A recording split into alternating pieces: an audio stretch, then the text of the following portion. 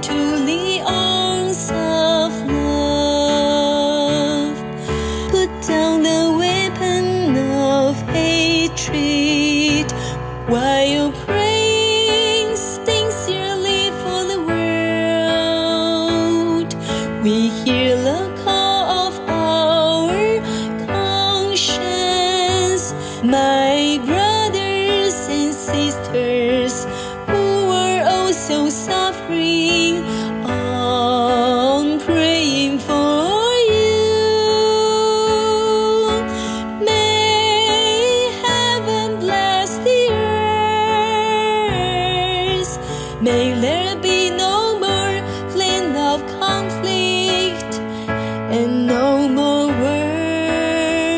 May all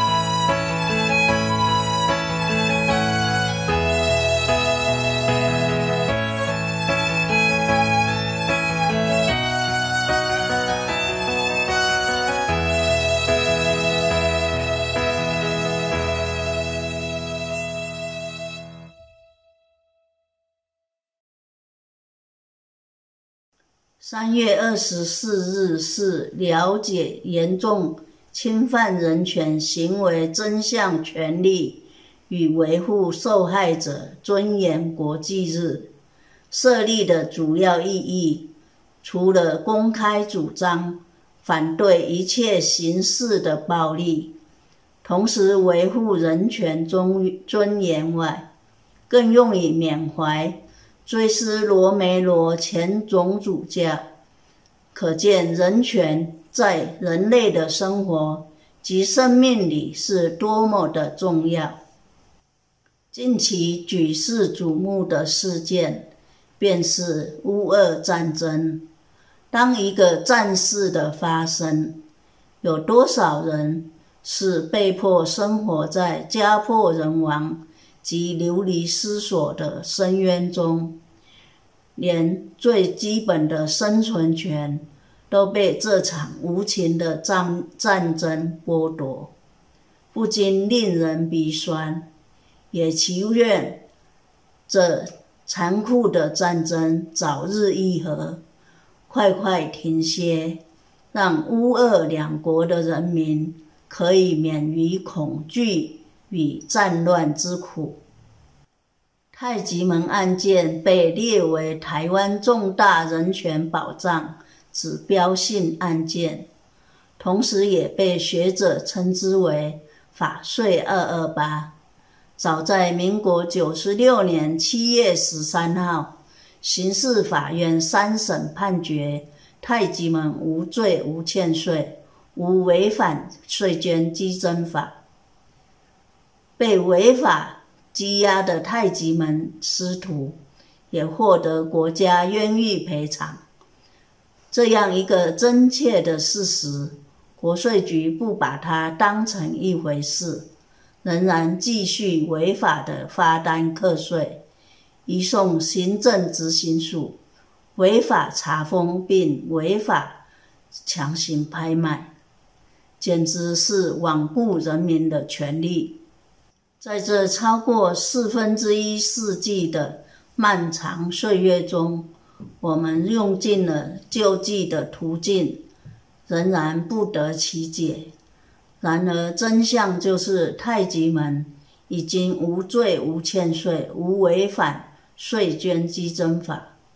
法院证明太极门的清白。对于受害者而言，要的只是公正、公平的对待，以及对于人性尊严的尊重。罗梅罗主教用生命教导我们：政府不该利用公权力。侵犯受害者的基本人权，我们也相信政府只要诚实面对真相，勇于改错，一定能让我们的国家更进步。线上的朋友，大家好，我是主持人清修，今天是了解严重侵害人权行为真相权利。和维护受害者尊严国际日，当人民的人权受遭受到公权力严重的侵害，国家能够还原受害者的真相，真诚的致歉，以弥补并惩戒加害者。就会获得人民的信赖和国际的尊敬，也才是国家之幸和人民之福。发生在一九九六年的太极门一二一九冤错假案，司法三审，以监察院已经查明真相。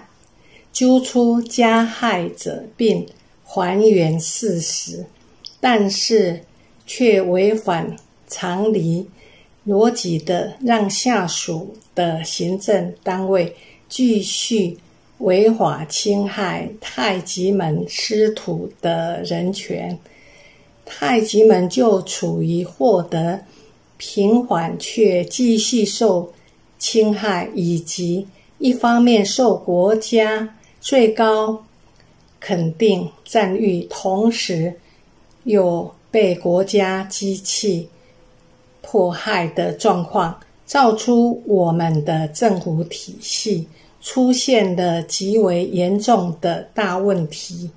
我们先来了解太极门这个古老气功武术修行门派，太极门。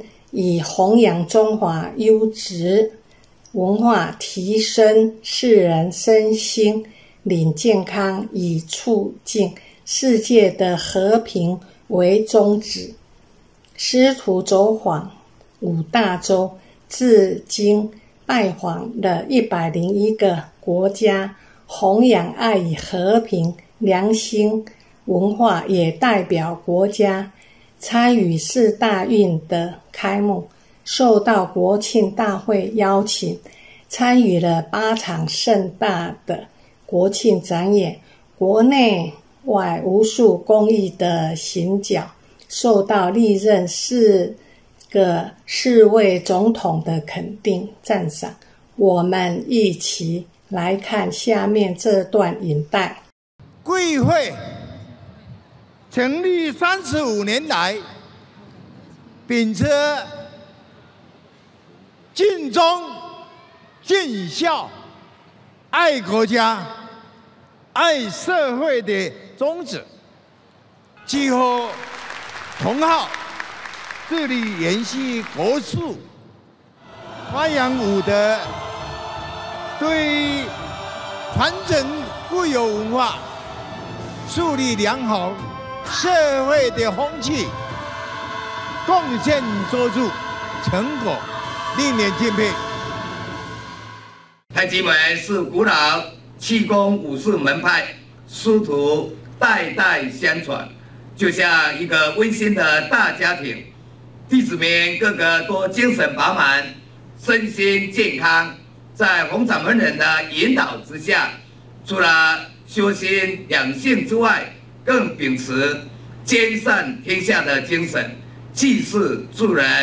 并透过国际文化交流，推展世界之爱，让爱与和平的理念传遍全世界五大洲。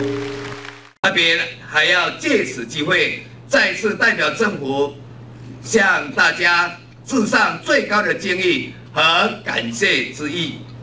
感谢大家长久以来为国家、为社会所做的努力。跟贡献。每一次看到太极门，就看到活力，看到温馨，看到爱。我们非常敬佩洪道子博士这一种悲天悯人的情怀，也希望在全世界各地，太极门都能够秉持这一个原则，让台湾站出去。让世界走进来，太极门更在掌门人的带领之下，积极走向世界，为台湾做国民外交，提升台湾在国际上的能见度。未来，我也希望太极门在洪掌门人带领之下，能够继续跟政府一起来打拼，发挥我们良善的影响力，让台湾不断的进步发展，让世界更看到台湾。这是太极门为国家、社会和世界的无私奉献，所有的世界行脚，国家没有补助，他们都是师徒凭借爱的信念，自立自会完成。但太极门师徒却遭受到的无中生有。的严重人权侵害。八十五年十二月十九日，侯宽仁检察官没有任何证据，就带着大批警调人员到各道馆搜索，无端拘留师父、师母和师兄姐。并违法联合媒体大肆报道，造成未审先判，太极门弟子和家人笼罩在不实的议论风暴之中，有的师兄师姐受到媒体的影响，而断了这条修行路。或是他们的家人受到影响，阻止他们到道馆练功；也有师兄师姐上班受同事指指点点，或受邻居、亲友的误会。名誉是人的第二生命。国家检察官恶意破坏太极门的名誉，让他们承受至今已第二十六年。侯宽仁光用眼神来办案是侮辱国家，施法没有证据就滥权起诉。是伤害国家、伤害人民，让太极门师徒上万家庭的人权受到严重侵害。司法院和监察院的调查，更让他的恶劣行为严刑毕露。然而，检察官侯宽仁从羁押太极门掌门人之后，一直到起诉书公布，总共只开过了三次侦查庭，询问了十三句话，共二十九分钟。草率的起诉却因此虚耗司法资源。法院历经了十年三个月的调查审理、交互诘问，共开庭了五十八次。九千五百七十分钟，太极门终于获判三审无罪确定。在太极门案起诉之后，一九九七年四月十八号，案件移送地方法院，全案已经属于法院管辖。但检察官侯宽仁却在四月二十五号以个人名义自行发函给内政部，以太极门是邪恶宗教团体为由，要求解散太极门。